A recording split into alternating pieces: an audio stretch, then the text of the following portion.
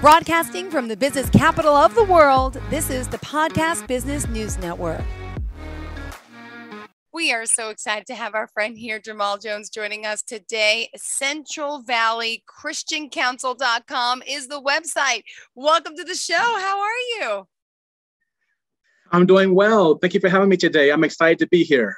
Well, we are excited to have you here as well. There's so much to you and to what you do. Would you mind introducing yourself to our listeners to start? Sure. I am a husband, a, a father, Professionally, I am a licensed marriage and family therapist, entrepreneur, and motivational speaker. Beautiful. I know you also have a daughter, age six, first grade. Yes, yes. I have I have a five and seven year old, two boys, so that resonates. But I can tell you one thing right off the top. I love that Jamal identifies himself as a husband and a father first. That speaks volumes. A lot of people you ask, about yourself. They all want to talk about their career and what they do. I'm the same way. I'm a mom. That's all I am. and then I have a job or two, but that's it. So I appreciate that. So, therapist, motivational speaker, facilitator, and so much more. Do you tell us a little about your life journey and what brought you here? Well, I am originally from the Bay Area. Um, I was born in San Francisco. That's where my parents were raised when I was still a, a child, my parents decided to move me and my four siblings to East Oakland. So I was born in San Francisco, raised in East Oakland, and I grew up in the Oakland Unified School District. And I've been living here in Fresno, California for 22 years now. I came to Fresno on a football scholarship uh, to Fresno State. And I just fell in love with the community and, and made it my home. Uh, my wife is also from the Valley, and she has strong ties to her family here as well. And over the course of my life and career, um, I, of course, I've been a student athlete. I played Division football at Fresno State, and then I transitioned into full time ministry with the Fellowship of Christian Athletes, and I was the football team chaplain for Fresno State football. Wow. And I did that for seven years before transitioning into mental health care.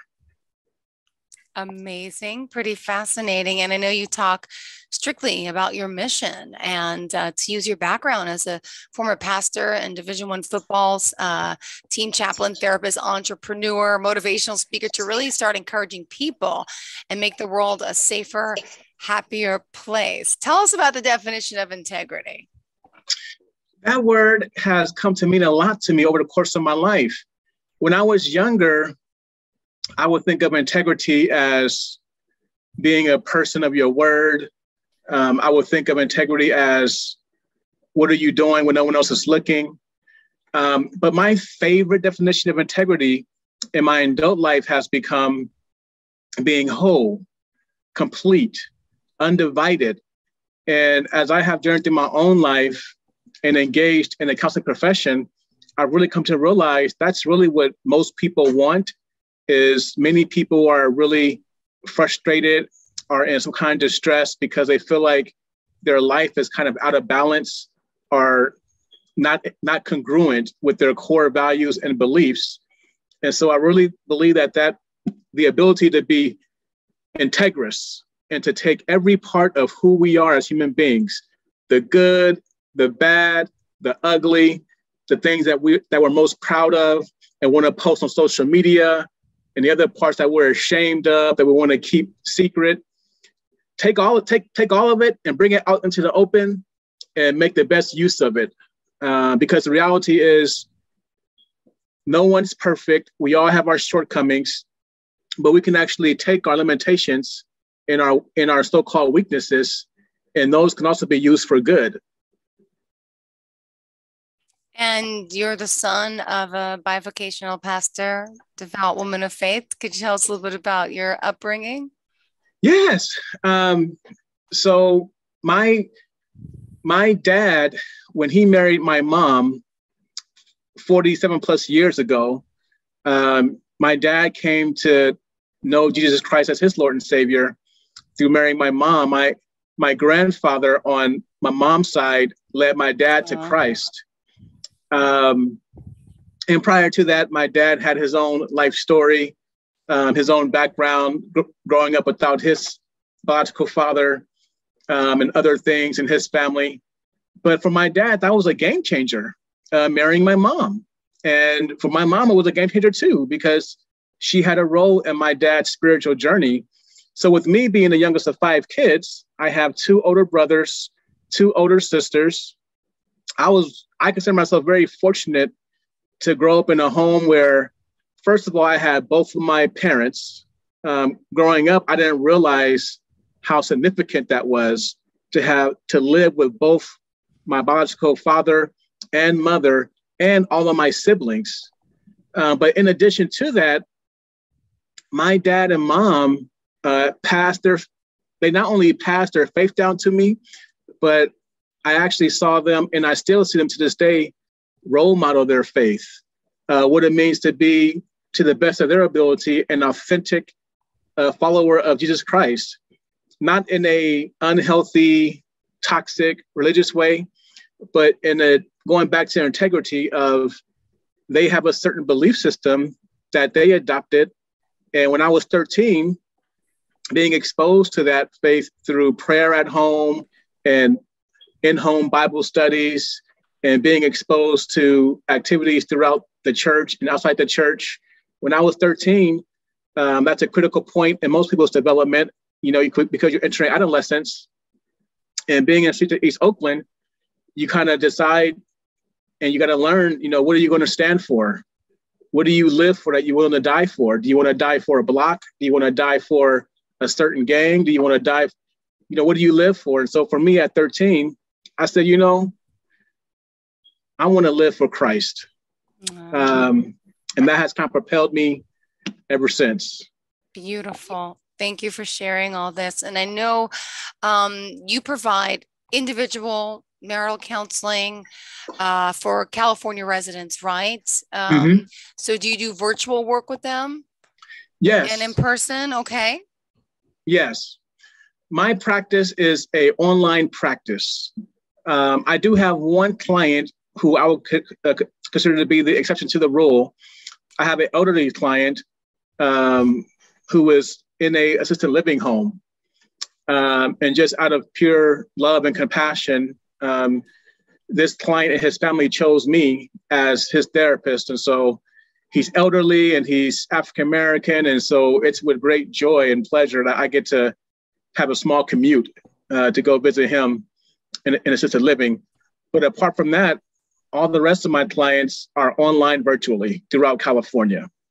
Oh, great. And I know today you want to focus on specifically three different aspects your work as a Christian therapist, Black therapist, motivational speaker. So let's start with you as a Christian therapist. In my work in mental health, um, you know, one of the things that we're constantly faced with and assessing for and intervening are things like depression, and a sense of hopelessness, a deep sense of helplessness, uh, feelings of despair.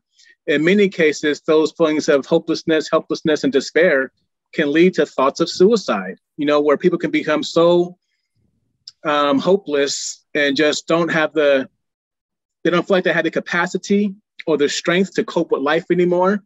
And they might come to their own conclusion that they're better off not living. And so mental health is a big aspect of it is about suicide awareness, uh, suicide prevention, uh, intervention. It's about the ability of us as healthcare providers to instill a greater sense of healing and hope. Um, and in my journey as a professional counselor, I discovered that there are a lot of people who go to counseling, and if they could choose for themselves, they would prefer to have a counselor who they feel is like-minded in some fundamental beliefs about who God is, who Jesus is, what is the Bible, and what does it stand for, and not to turn the sessions into a Bible study um, or to make the sessions overly religious. But one of the keys to progress and good outcomes in therapy is the relationship. And many people are more comfortable engaging in this therapeutic relationship when they feel like they can identify with a person And so I decided that I would go ahead and begin to build a Christian based practice, not to exclude any other faith or any other belief systems, but to make it easier for those folks who are looking for a Christian therapist to actually locate one. Got it. And by the way, let's just remind our listeners how we can reach out to you specifically phone number, website, social media. Would you mind sharing? Yes, my business line is area code 559 242 9319. That's 559 242 9319. You can also email me at my first name, which is spelled J A M A L, at Central Valley Christian Counsel.com.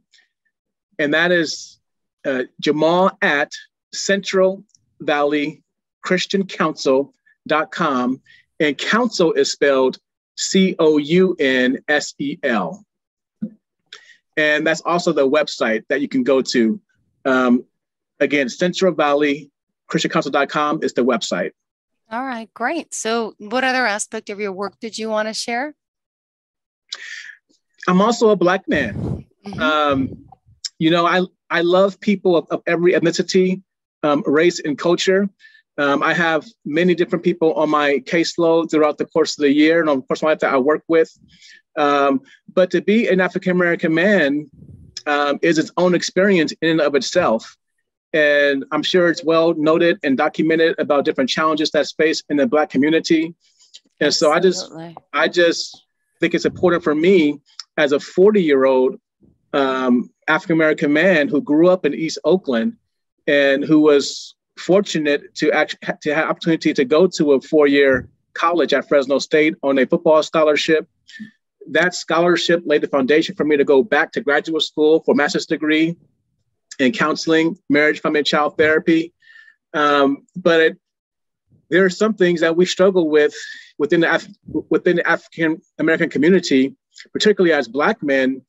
Um, and so I also advertise myself as a Black therapist uh, for those individuals who would feel more comfortable engaging in that therapeutic relationship with someone of the same ethnicity and culture. Beautiful.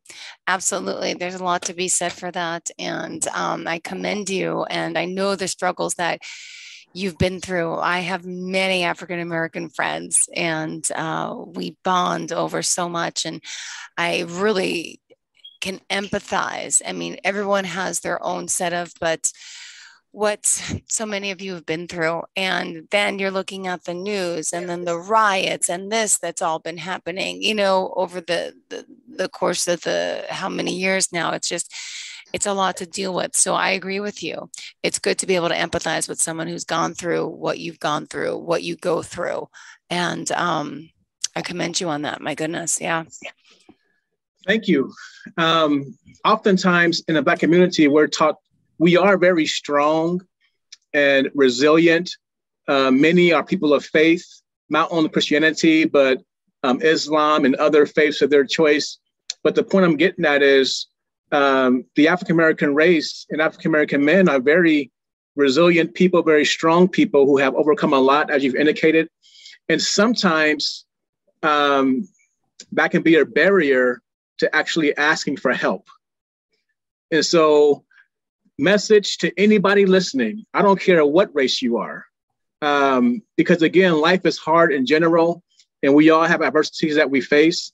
But if you're that t- uh, kind of personality who is kind of a go-getter, or you kind of want to pull yourself up by your own bootstraps, or you're that person that's very dependable and you got so many family, staff, or friends depending on you, I just want to remind you that asking for help um, is a sign of strength. Um, asking for help yeah. is a sign of humility. And because of who you are, as a Black man, as a Black woman, as a professional, as a Christian, again, whoever you are, because of who you are and your track record of being so dependable, it's okay for you to kind of take a step back and ask for help so that other people can be there for you. And that's one of the greatest joys that I get out of being able, able, a professional therapist is I get to provide a space where people can come in private and confidentiality and in essence let their hair down let their guards down be transparent and vulnerable so that they can leave those sessions and then show up for their children and their families and their jobs as their authentic selves well, let's also discuss um, a little about the type of um, things you can help people with. Um, let me just ask you it's been a difficult two and a half years with this pandemic. It's brought a lot of anxiety, it's brought a lot of stress, it's brought a lot of heartache, loss, um, job change, career change, juggling children. I mean, h- how have you noticed this pandemic affecting you personally and, of course, the people you're working with? Life transitions, um, whether it's the economic crisis of 07, 08, um, or in this case, we're coping with a pandemic, a worldwide pandemic. Um, life in and of itself is full of transitions. And some of those transitions are more pleasant than others. Um, so, one thing I'm constantly reminding people of is that change is a process, um, change is normal.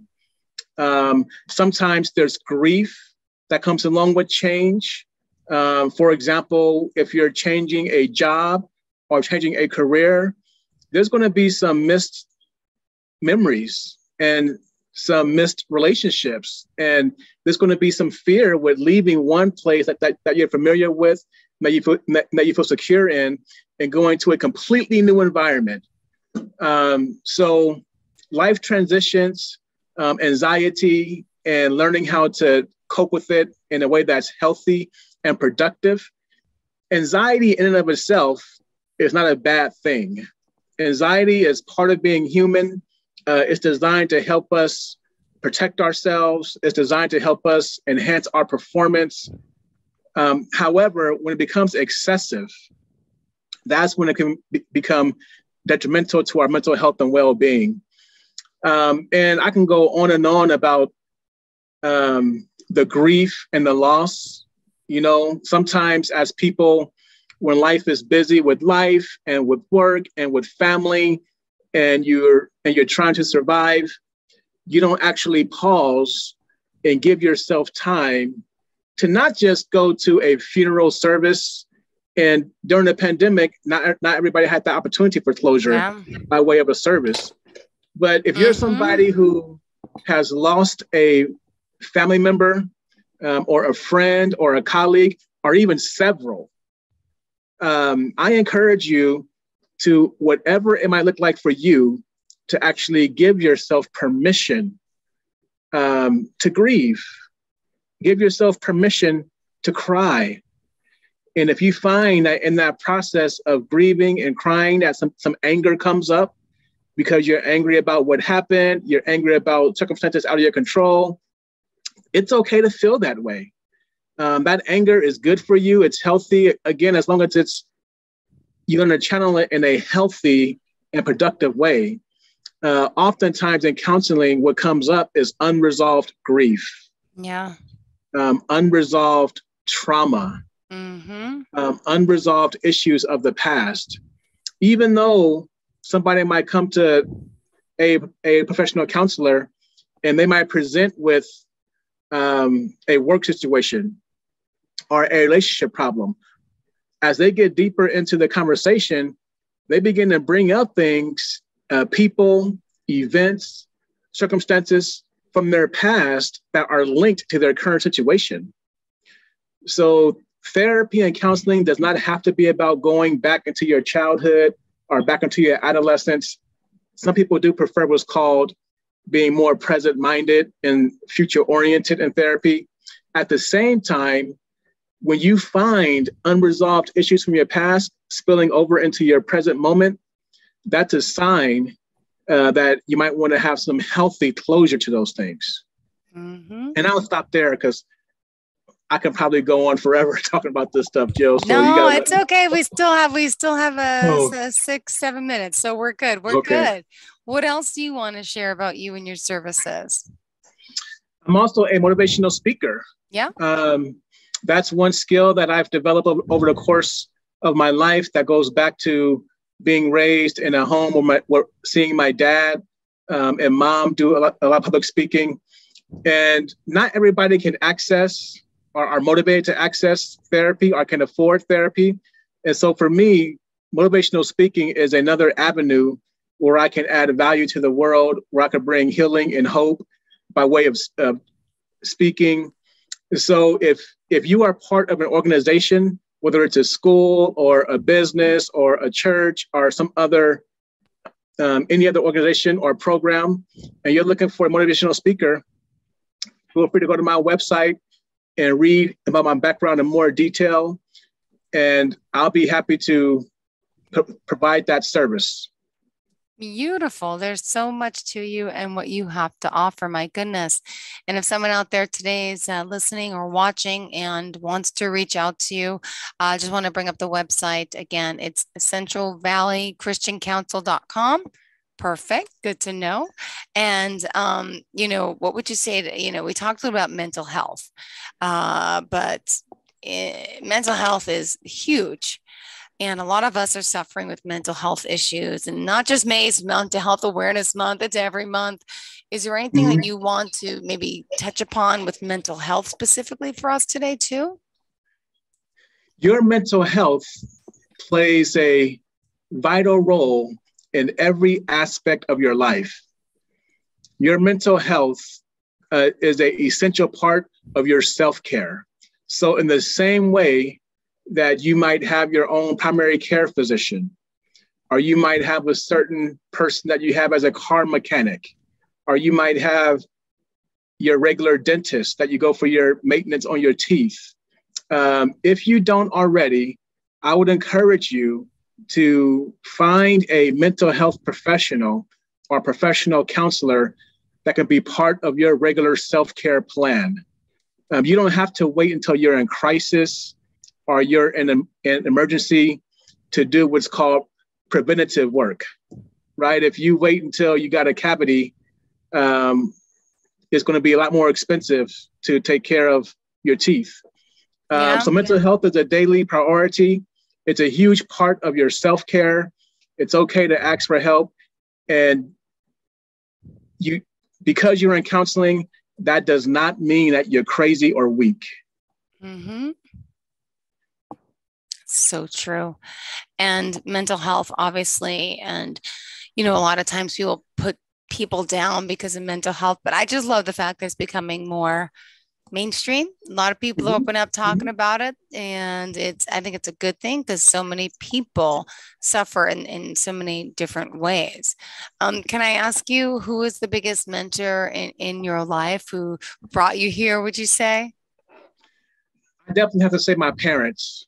Um, my dad and mom are the greatest influences in my life, and I'm grateful that they um, introduced me to Jesus Christ as my Lord and Savior, because what that has done for me is um, it has given me a faith that I can genuinely believe in, that serves me as a, a guide and a compass. Uh, my faith informs every aspect of my life, how I think and how I respond. Um, not perfectly, but again, in trying to be healthy and productive. So I, I, am grateful for my dad uh, and my mom and my four siblings um, again, to be a African American male uh, who grew up in East Oakland in an intact family, knowing what I know today, um, I'm just really, really grateful for the, for that um, privilege uh, and opportunity. And I also, um, I have other influences in my life, um, different people who have mentored me over the years, different coaches I've played for who have been big influences in my life. Um, life is a team sport. Yeah. And yeah. the older we get, the more intentional we want to be about building our own support system that's healthy and productive. Yep. And uh, we are just about out of time with two minutes left on the clock. Um, did you want to share something else in particular? Um, I know you, you also had a little bit of an inspirational quote that maybe you wanted to share for us.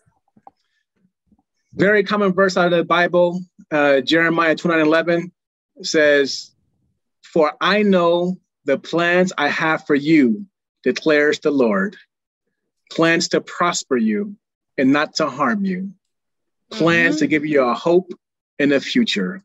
So no matter no matter who you are or what you're going through, if you believe in a higher power, um, I do believe in a higher power who has plans to prosper you, not to harm you. Uh, he wants to give you a hope in the future. And so, if you have lost confidence, if you've lost hope, um, believe in yourself as much yeah. as this higher power believes in you, and you'll be amazed what happens. Beautiful. Thank you so much, Jamal. Please tell us again how we can reach out to you. My business line is 559 242 9319. Website is Central Valley Christian Counsel.com, and counsel is spelled C O U N S E L. And my email address is Jamal, J A M A L, at Central Valley Christian Counsel.com. Thank you so much. Pleasure having you here on the show today. Uh, we appreciate you. And to all of our listeners and viewers, we appreciate you as well. Stay tuned. More of the show's coming up right after the break. Are you looking for even more of the podcasts and hosts that you love? The Podcast Business News Network is proud to announce that you now have even more ways to listen live. Check out the MyTuner Radio, online radio box, and Simple Radio apps on iOS and Android, or find us online. Search for Business News Network on mytuner-radio.com or search Podcast Business News Network on streema.com and onlineradiobox.com slash US. Take your podcast on the go and don't miss a minute of the action.